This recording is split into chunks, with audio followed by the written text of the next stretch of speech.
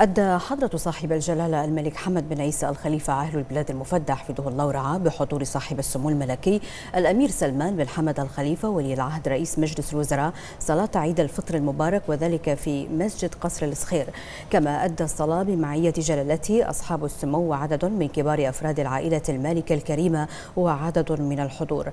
استمع جلالة الملك المفدى والحضور إلى خطبة صلاة العيد التي ألقاها فضيلة الشيخ الدكتور راشد بن محمد الهاجري رئيس مجلس الأوقاف السنية والذي استهلها بالشكر لله سبحانه وتعالى. والصلاة والسلام على أشرف الأنبياء وسيد المرسلين نبينا محمد وعلى آله وصحبه أجمعين. وتحدث فضيلته عن المعاني السامية لعيد الفطر المبارك مبتهلا إلى المولى جل جلاله أن يحفظ عاهل البلاد المفدى ويرعاه ويمتعه بموفور الصحة والعافية وطول العمر ويوفقه لما يحبه ويرضاه وأن يديم على وطننا العزيز وشعبه الوفي نعمة الأمن والرخاء تحت قيادة جلالته حفظه الله وأن يتقبل من الجميع صيامهم وقيامهم وطاعتهم وأن يرفع هذا الوباء عن البلاد والعباد.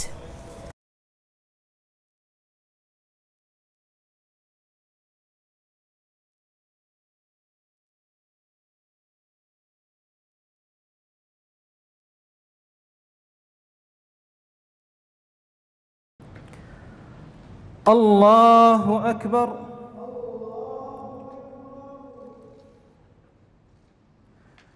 الله أكبر. الله أكبر. الله أكبر. الله أكبر. الله أكبر. الله أكبر. الله أكبر.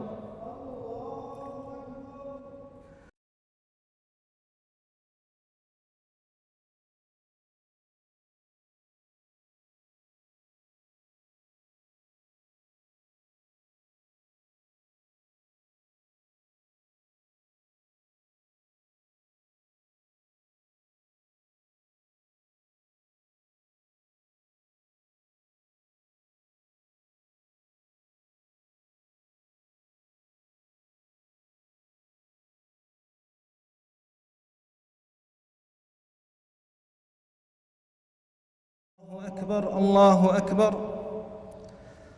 الله أكبر كبيرا. والحمد لله كثيرا. وسبحان الله بكرة واصيلا. الحمد لله. الحمد لله الذي سهل لعباده العبادة ويسر. وله الشكر على نعمه وآلائه التي لا تعد ولا تحصر.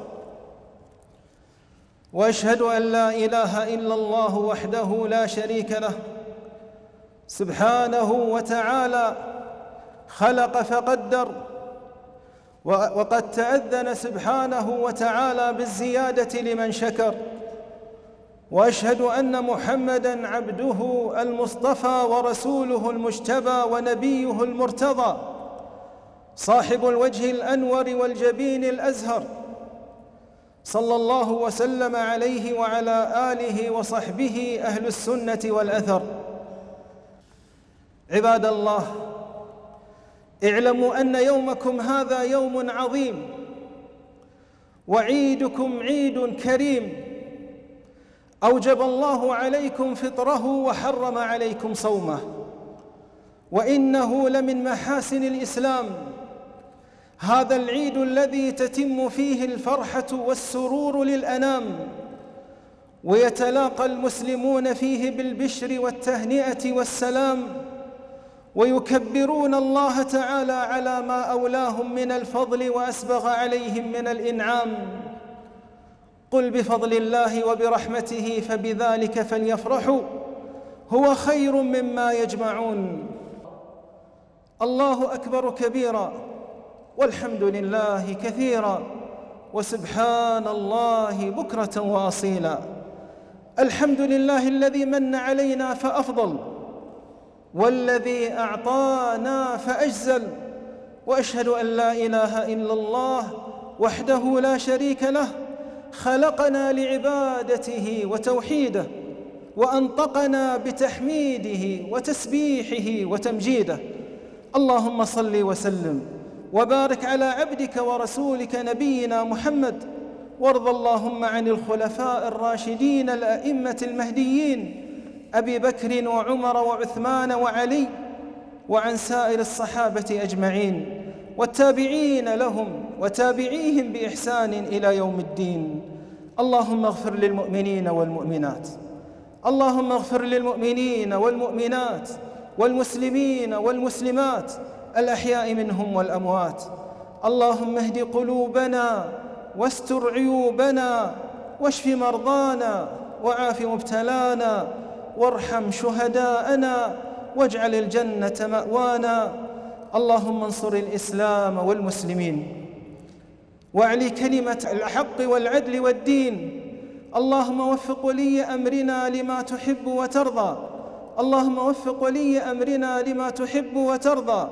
اللهم وفقه وولي عهده لهداك واجعل عملهما في رضاك واجعل بلدنا هذا امنا مطمئنا سخاء وسائر بلاد المسلمين. اللهم أعد علينا شهر رمضان سنين عديدة وأزمنة مديدة ونحن في صحة وعافية وأمن وإيمان.